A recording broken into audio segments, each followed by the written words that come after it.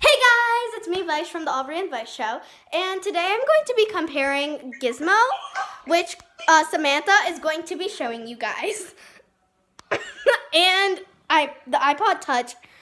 Um, so these are both like kid-like products. So if you're like wanting to do, like wanting to get one of these for your kid, this is amazing. So let's start off with Samantha.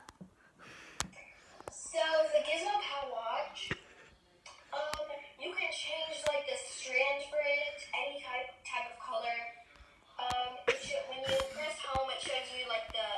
the time and the date.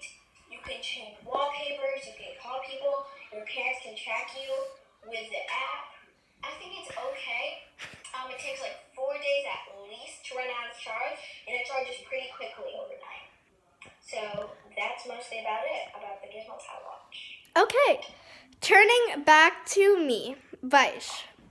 So, um, this is the iPod Touch, and I hope you guys really like.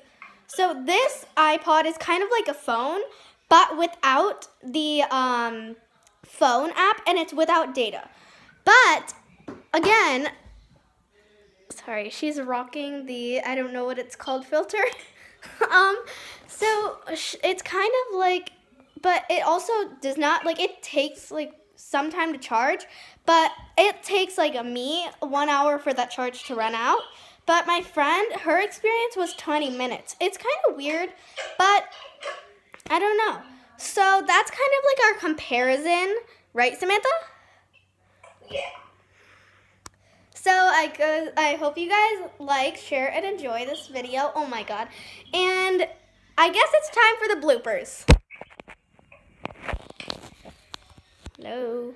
Sorry. Hey guys, it's me, Vaish from the Aubrey and Vaish Show. That it? I'm shaking the camera so much I can't see good. Sorry. I'm not a professional. I'm not a professional YouTuber. I just have to shake the camera. Shake, shake, shake. okay. Sorry.